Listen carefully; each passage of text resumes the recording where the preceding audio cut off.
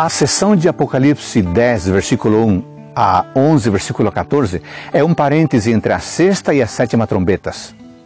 Este parêntese é semelhante ao de Apocalipse 7, que ocorre entre o sexto e o sétimo selos. Quem é o anjo forte do primeiro versículo?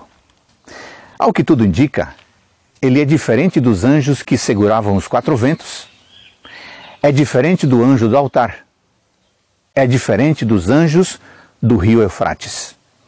Este anjo pode ser considerado e identificado com Cristo. Aqui, no papel de Senhor da história, faz uma forte proclamação no verso 6: já não haverá demora. E que livrinho é esse que está na mão do anjo? O verbo grego indica que o livro fora aberto e continuava assim. Em contrapartida, o rolo anterior fora lacrado com sete selos. No passado, Daniel recebeu a seguinte instrução: encerra as palavras e sela o livro até o tempo do fim. Daniel 12, 4. Sendo que a mensagem deste anjo aborda o tempo e presumivelmente acontecimentos do tempo do fim, quando o livro de Daniel deveria perder o selo, é razoável concluir que o livrinho aberto da mão de no anjo corresponda ao livro de Daniel. Assim como Daniel, muito tempo antes, João é então ordenado a selar ou guardar em segredo a revelação que recebera. Paulo também, em visão, ouvira palavras inefáveis, as quais não é lícito ao homem referir. As mensagens dos sete trovões certamente não eram uma revelação para o povo dos dias de João. Possivelmente estavam ligadas às mensagens a serem proclamadas no tempo do fim.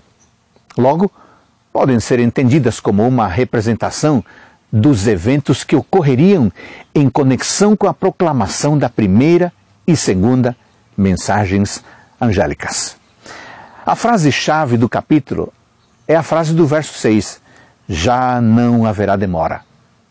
De modo geral, os adventistas do sétimo dia interpretam que estas palavras se referem à mensagem proclamada entre os anos 1840 e 1844 por Guilherme Miller e outros sobre o término da profecia dos 2300 anos.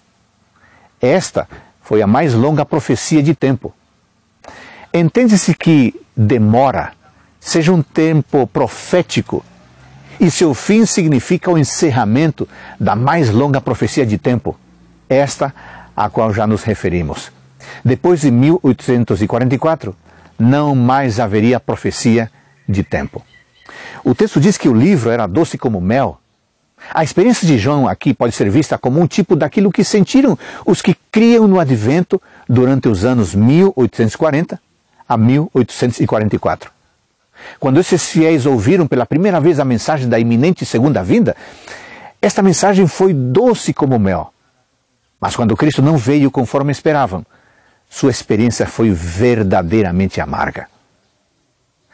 É necessário que ainda profetizes, diz o texto. Uma grande obra ainda precisa ser feita, amigos. Devemos prosseguir e proclamar a mensagem do terceiro anjo, preparando um povo para a vinda de Jesus. Você é chamado para participar diretamente dessa missão. E aí? Você quer se engajar nessa missão?